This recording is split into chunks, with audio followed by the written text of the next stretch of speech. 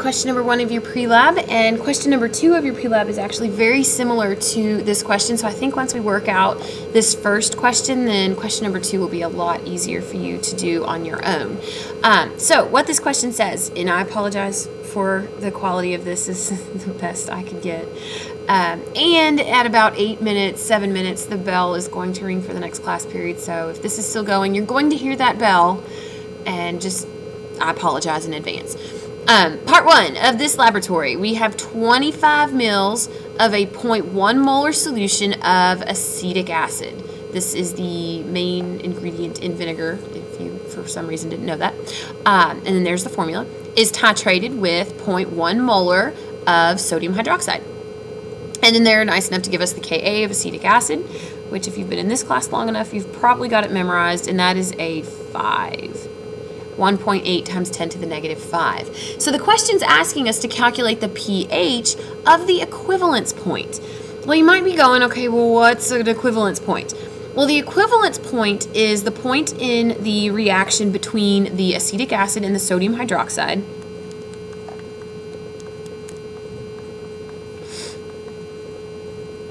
where the reaction has gone to completion and you've added just the right amount of sodium hydroxide to completely neutralize all of these little acidic hydrogens here.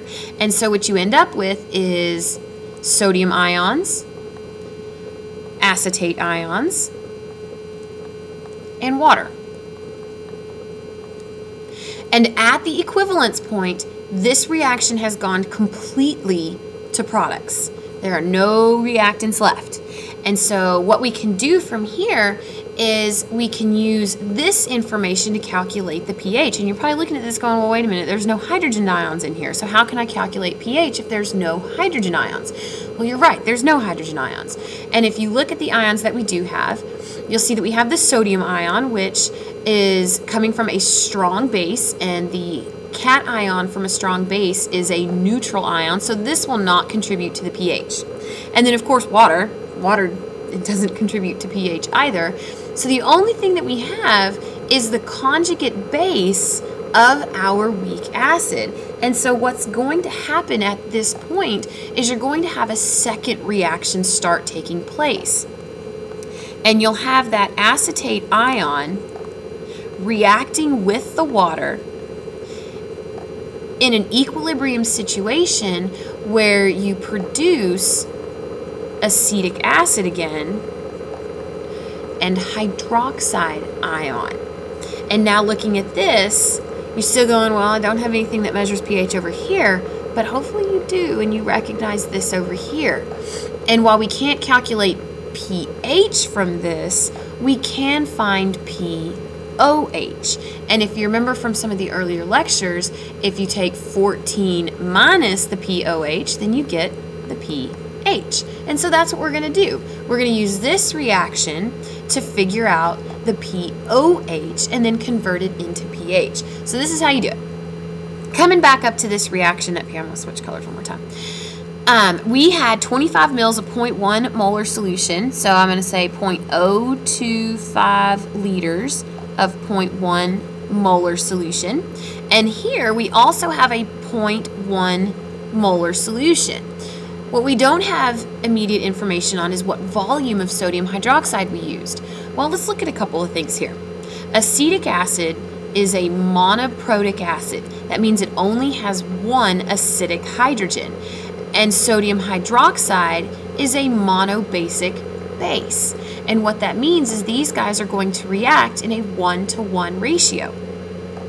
And so since their concentrations are the same, then that means that the volumes necessary to, to you or the volumes necessary to of the sodium hydroxide to neutralize the acetic acid are also going to be the same.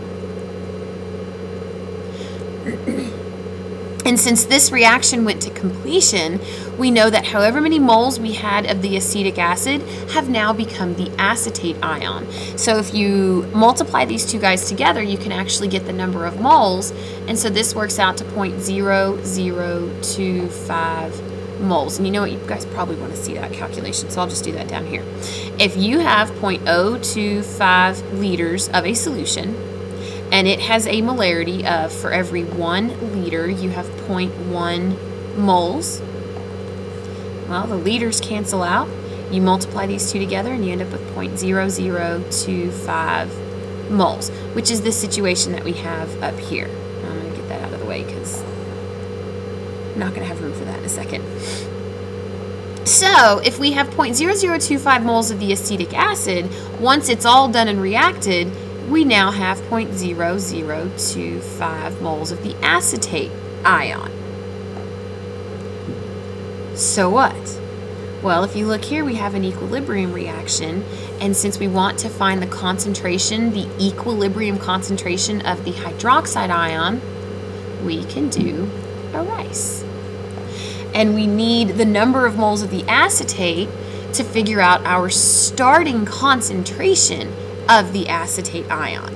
And whatever goes in rice tables, remember it has to be a concentration, and so we can't put 0.0025 moles, we have to get this into moles per liter.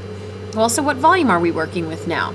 Well, we had 25 milliliters of acetic acid and 25 milliliters of sodium hydroxide. So now our total volume is 50 milliliters or 0.05 liters. And you solve this, work it out, and you end up with a concentration of 0.05 molar. Now, water is a liquid, so it doesn't participate in the equilibrium expression. The acetic acid in the beginning, there's that bill I was telling you about. The acetic acid in the beginning is zero, and the hydroxide ion in the beginning is zero. And then we will go through some change where the acetate ion amount decreases, the acetic acid amount increases, and the hydroxide ion amount increases. And they're all individual X's because it's a 1 to 1 to 1 mole ratio. So what that means is that at equilibrium, the acetate ion concentration is going to be 0.05 minus X, the acetic acid concentration, 0 plus X or just X, and the hydroxide ion concentration, same thing, it's just 0 plus X or just X. So from here what we can do is we can set this into an equilibrium expression and say that Kb, because this is a base, this is the conjugate base of acetic acid, Kb is going to be equal to the products, which in this case is the acetic acid times that hydroxide ion divided by the acetate ion. Now there's another little bit of information that we know about Kb from here. Uh, and that is, we know Ka of acetic acid. And we know from definition that Kw the equilibrium dissociation constant of water is equal to Ka times Kb. And so to isolate this for Kb, we know that Kb is going to be equal to Kw over that Ka that they gave us up here at the top. And if you're forgetting, Kw is 1.0 times 10 to the negative 14. This is just a constant. So now we can plug in numbers and do a calculation. So I know for here, my concentration of my acetate, or I'm sorry, my acetic acid is going to be X. And I'm going to multiply that by my concentration of my hydroxide, which is also X. And so this ends up being X squared. Divide that by my concentration of acetate. Well, that's 0.05 minus X. Well, if you remember, most of the time this change is going to be really, really small. And so we can make an assumption that x is so small that once x has been removed from 0.05, that it's not going to significantly change it, or it's not going to change it enough that we need to worry about it. Maybe it changes it to 0.0499996, you know, something like that. And so what we can do is just assume that x is really small and ignore it. Say that x is negligible. And so instead of putting 0.05 minus x and having to deal with the quadratic formula, we're just going to put 0.05. And that's going to be equal to kW over Ka. Well, kW is 1.0 times 10 to the negative 14. And Ka, they gave us up here, is 1.8 times 10 to the negative 5. So we need to solve this little guy right here.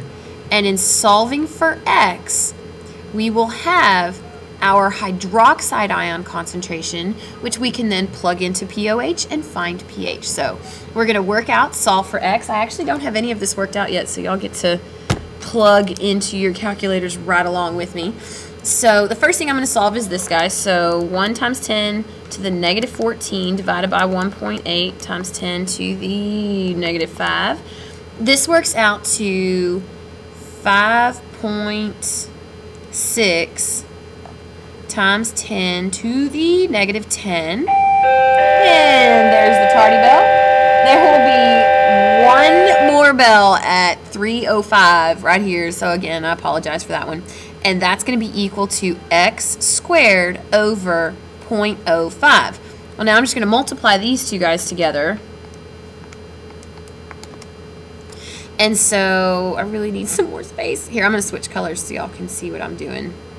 I'm going to purple. I'm going to move right up here.